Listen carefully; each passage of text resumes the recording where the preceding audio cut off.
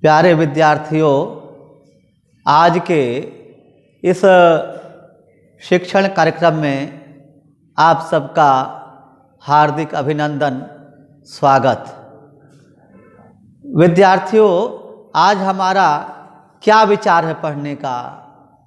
क्या टॉपिक निर्धारित कर रखा है पढ़ने के लिए? कोई एक बच्चा बताए। सर, कविता के ऊपर। कवि, कविता के ऊपर, यानी अभिव्यक्ति और माध्यम। में एक जो विधा दी गई है, वो है कविता। दो तीन विधाएँ हैं, कविता, कहानी, नाटक।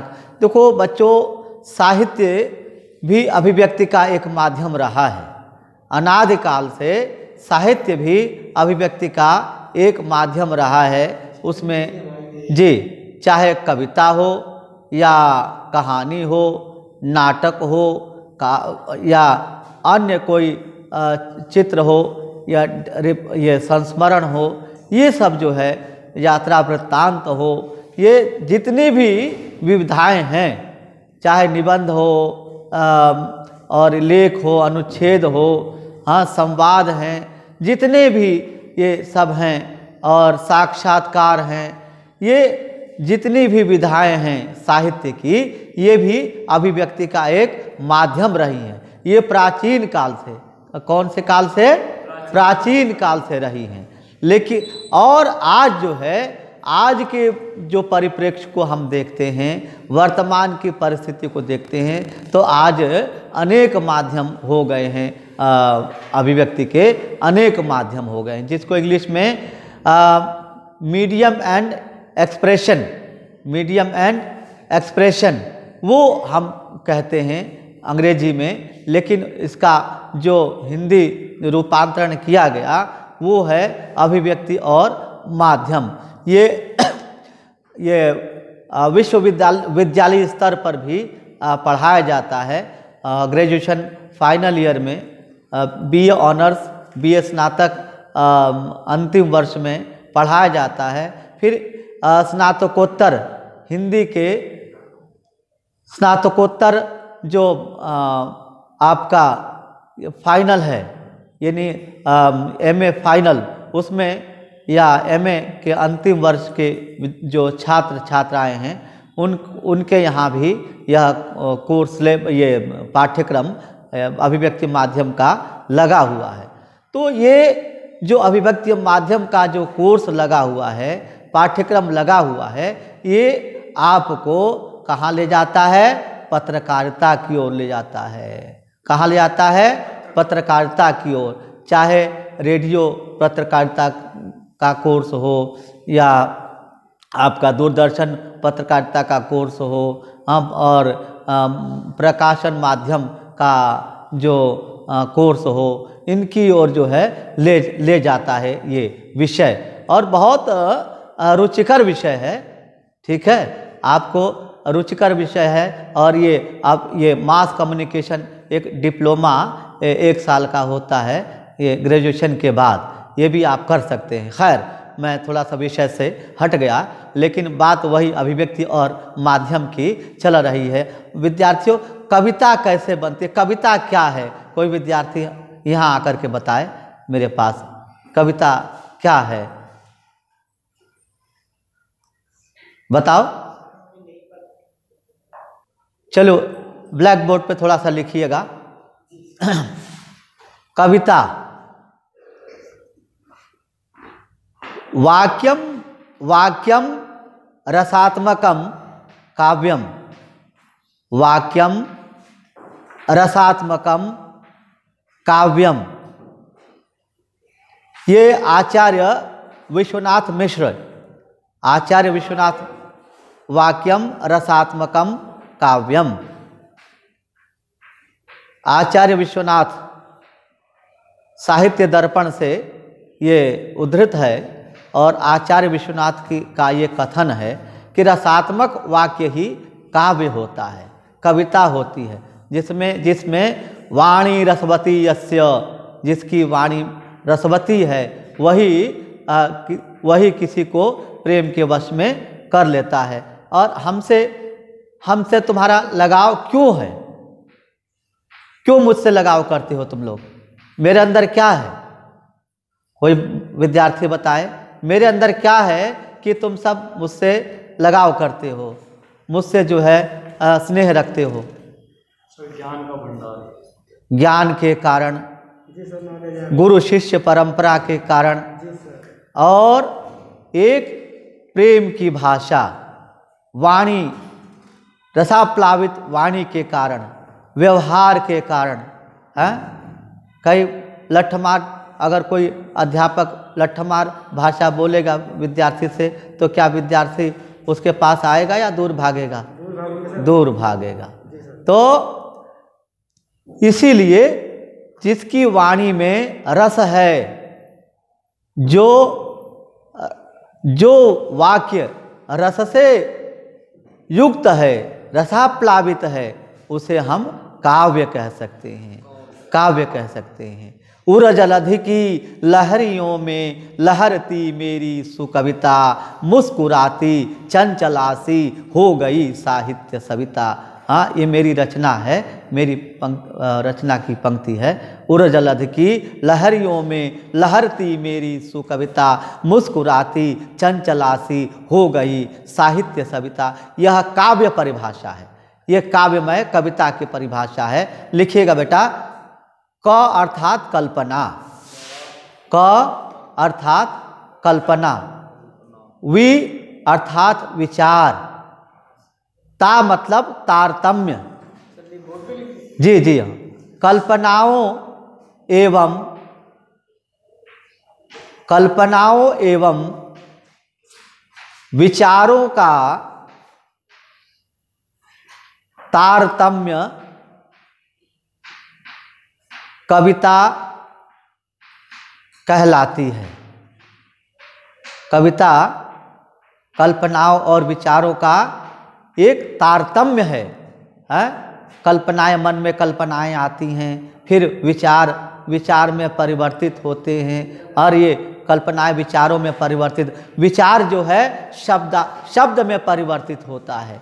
विचार जो विचार होते हैं वो शब्द में परिवर्तित होते हैं। और शब्द में परिवर्तित हो करके फिर जो है श्रोता और पाठक तक जात, जाती है।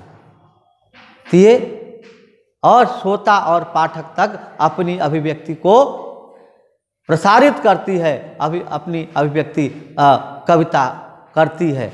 हाँ कविता, जब कविता की बात करते हैं विद्यार्थियों तो कविता किससे निकलती? कविता का कविता के कारण भी होते हैं। कविता का कारण भी हो सकता है। आ वियोगी होगा, पहला कवि आह से उपजा होगा गान। उमड़ कर आँखों से चुपचाप बही होगी कोई कविता अनजान।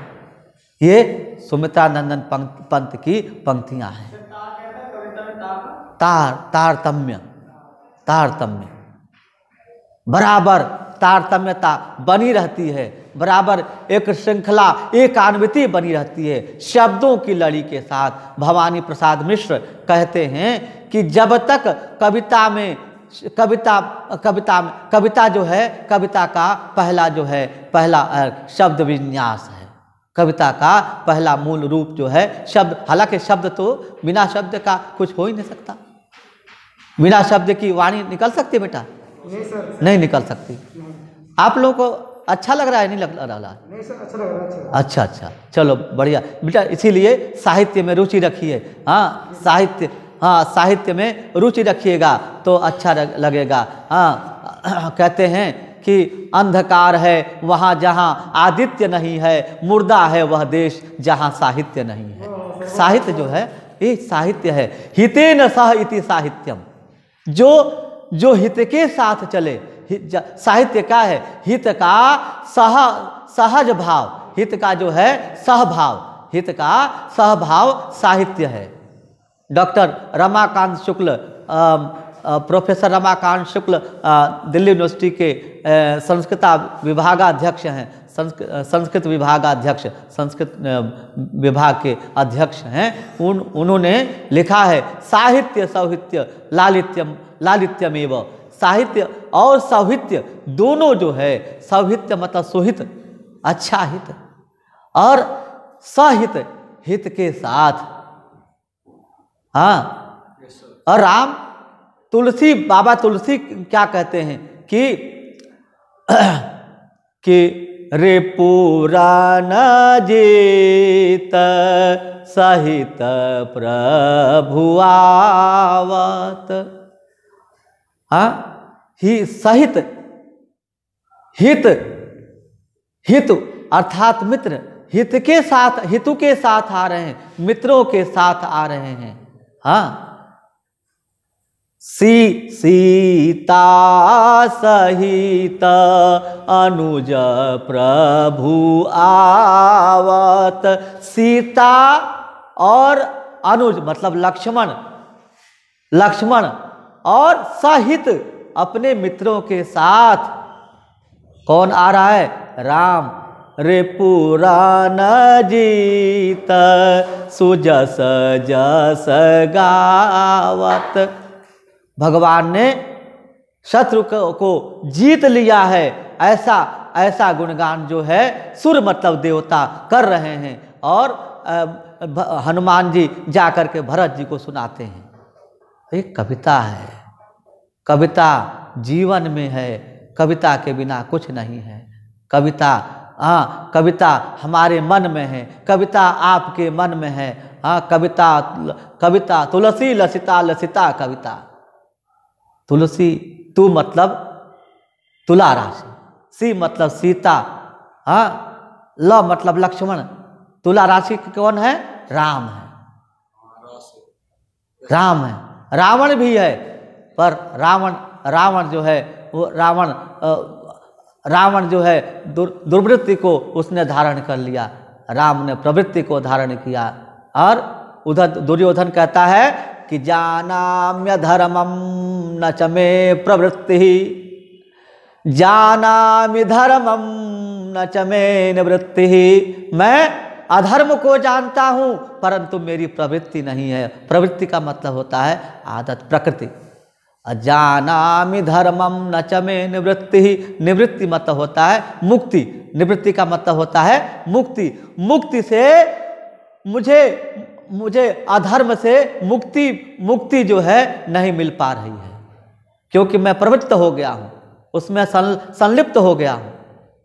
इसलिए मैं सब कुछ रावण राम रावण दोनों एक तुला राशि के हैं। एक जो है हाँ नश्वरता क्यों चाह चला गया अलग अलग काम करके। एक मर्यादा को स्थापित करके उसने समग्र समग्र विश्व को जीत लिया। समग्र सुर असुर, देव, गंधर्व, किन्नर नर, यक्ष, राक्षस, सबको जीत लिया। तो कविता कविता कविता जो है, कविता के कविता के कारण, कविता जो है, चार तत्वों से निकलती है बच्चों। कविता, अभ्यास, प्रतिभा, कल्पना और हेतु। कारण, अभ्यास नहीं है। कुछ नहीं हो सकता है। बिना अभ्यास से विषम विद्या। बिना अभ्यास के विद्या जो है नहीं होगी। बिना अभ्यास के कविता नहीं। अगर कोई मुझे अभी कह दे कविता लिखने के लिए तो नहीं लिख पाऊँगा। जब मेरा मुझे कोई कह दे कविता सिखाने के लिए कि सर जी अ, मुझे कविता लिखाना सिखा दो गुरु जी कविता लिखाना सिखा दीजिए लेकिन नहीं सिखा पाऊँगा। ये प्रकृति प्रदत्त विद्या है। ये जो कला कविता एक कला है। हाँ साहित्य साहित्य है। अखंड मेरे जीवन का कविता, कला का अद्भुत वर दीजिए कविता एक कला है। हाँ? और ये उन्होंने शैली ने लिखा था कला कला के लिए। हाँ? तो कविता जो है, कविता मानव मन की रागात्मक अनुभूतियों का, अनुभूतियाँ, अनुभूतियों का एक शब्द रूप जो शब्दायित हो करके शब्द, शब्दबद्ध हो करके और श्रोता और पाठक पाठक तक पहुँचती पहुँचती पहुँचती है, वो वो है कविता। कविता के बिना कुछ नहीं है।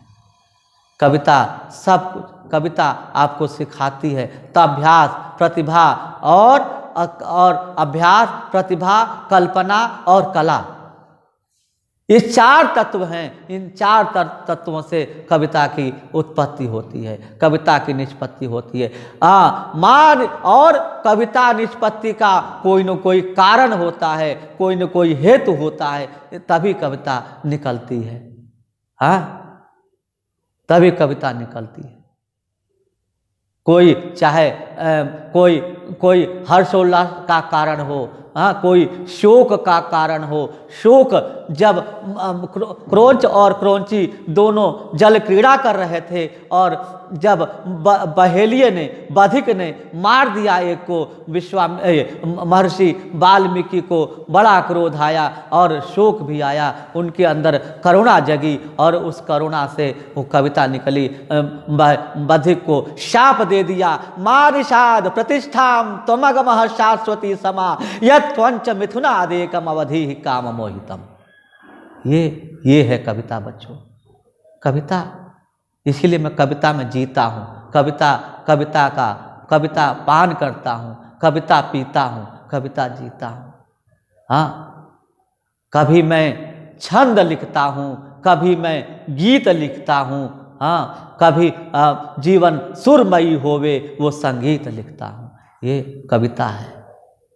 हाँ यही कविता है। कविता जो है आपके आपके अंतकरण से कविता आती है हृदय से कविता आती है। कविता ऐसा नहीं आती है कि एक लिख जाए एक आ और एक लिखा जा आ आ जा कविता हो गई। रामदास खड़ा था, उसको उसको पता था कि उसकी हत्या होगी। ये कविता कविता, ये तो कविता के नाम पर जो है, कविता के नाम पर अकविता लिख रहे हैं। हाँ कविता कविता में क्या होता है? कविता में छंद, अलंकार, रस और गुण, ये सब सब होने चाहिए। हाँ कविता कविता, भूषण बिना न विराजई कविता बनता मित्र कविता में अलंकारिकता होनी चाहिए। भूषण बिना न विराजई कविता बनिता मित्र कविता मनुष्य को मानव बनाना सिखाती है। और कविता का किसी भी काव्य रचना का एक प्रयोजन होता है, उद्देश्य होता है स्वर्गीय कवि राष्ट्र कवि मैथिली क्षण गुप्त कहते हैं कि मनोरंजन ही न कवि का केवल कर्म होना चाहिए उसमें उच, उचित उपदेश का भी मर्म होना चाहिए। मनोरंजन ही न कवि का केवल कर्म होना चाहिए उसमें उचित उपदेश का भी मर्म होना चाहिए। तो विद्यार्थियों आज मैंने काव्य पर जो संक्षिप्त रूप में वक्तव्य दिया, आज इस यही यही है कि कविता कैसे बनती है। कविता जो है भावों से भावों से, विचारों से, कल्पना से और और शब्द और शब्दों की, शब्द रचना से, शब्द विन्यास से, वाक्य विन्यास से कवि, काव्य की रचना होती है। कविता में छंद, रस, अलंकार, गुण इत्यादि और और जो है चमत्कार होना चाहिए अर्थ गांधीर्य होना चाहिए शब्द गांधीर्य होना चाहिए। बाह्य और अंत अलंकारों अलंकरणों का समावेश हो वही कविता है। और विद्यार्थियों आज जो मुझे अच्छा मुझे आ, विश्वास ही है कि आपने जो कुछ भी सुना मेरे वक्तव्य को आप उसको अपनाएँगे। और जो है जो हमारा अगला टॉपिक होगा अगला टॉपिक होगा वो होगा नाटक।